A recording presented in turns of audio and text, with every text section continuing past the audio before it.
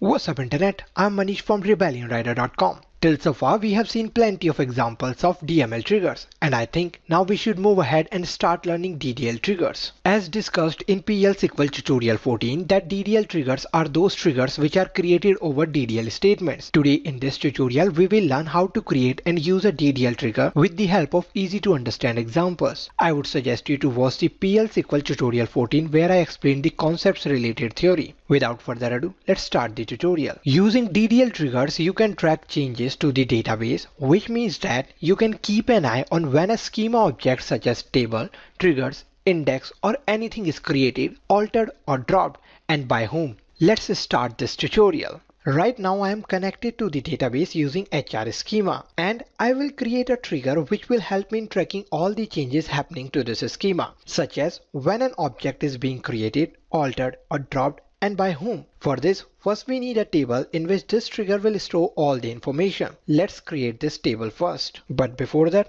let's close this script output and clear the screen. That's better.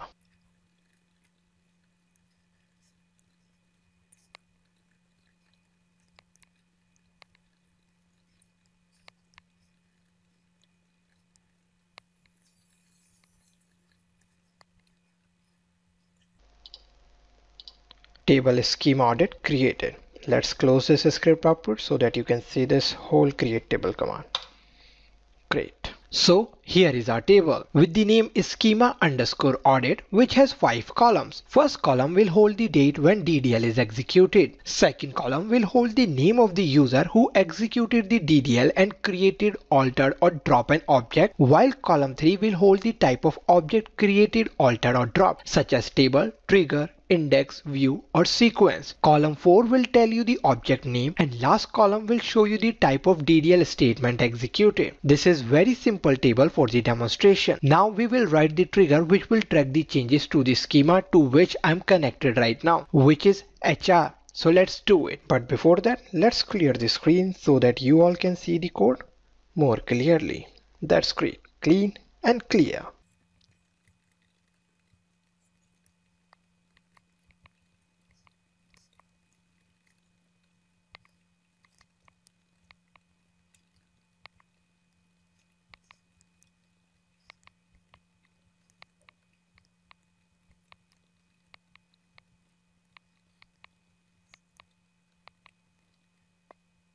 Here is our trigger. Let's discuss the detail part of this trigger first, which is the first two lines. The name of this trigger is HR underscore audit underscore TR, which is completely user defined. And this trigger will fire after every DDL statement executed on the schema in which it's created. In this case, that schema is HR. Second line shows, as I just said, that this trigger will fire after every DDL statement executed in the HR schema. In case if you want your trigger to execute only for any specific DDL statement, for example, suppose you want your trigger to fire only for truncate DDL, then simply replace this keyword DDL with truncate. Or if you want your trigger to fire for create and alter DDL statement, then replace DDL keyword with create or alter then your trigger will fire only for create and alter DDL. But in my case, I want my trigger to fire for all kind of DDLs so I'm good with keyword DDL here. Now come to the second part of the trigger which is the working part. Here we have our execution section inside which we have an insert statement. This insert statement will insert a row into the schema underscore audit table which we just created whenever someone executes a DDL in HR schema. So let's see how we are inserting respective values into the table schema audit. First function sysdate will insert the date when DDL is executed. Second function using which we are taking the username who executed the DDL is sys underscore context, which usually takes three parameters in which two are mandatory. First one is namespace and the second one is parameter. In our case, namespace is user env, which is an Oracle built-in namespace associated with the current session and the current user is our parameter whose value will get returned. In simple words, both these arguments together will return the current session username who executed the DDL.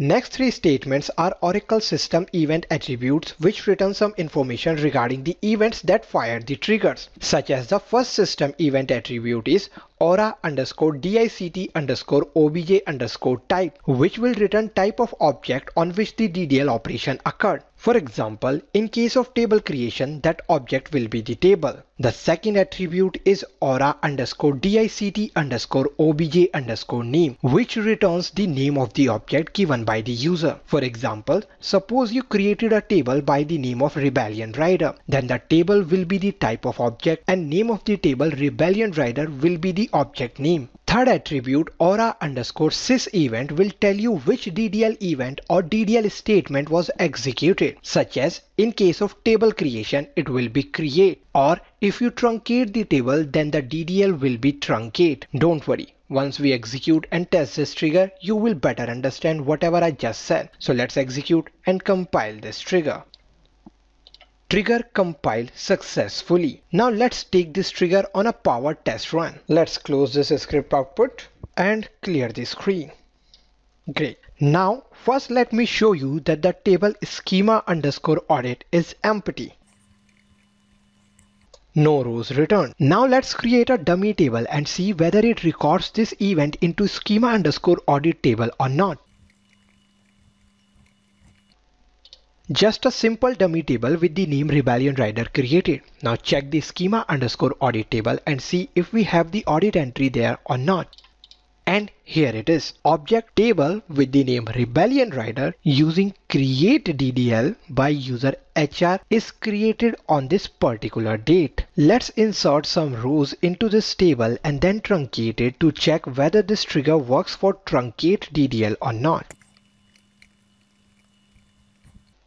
I just inserted two rows into the table Rebellion Rider. Let's quickly check.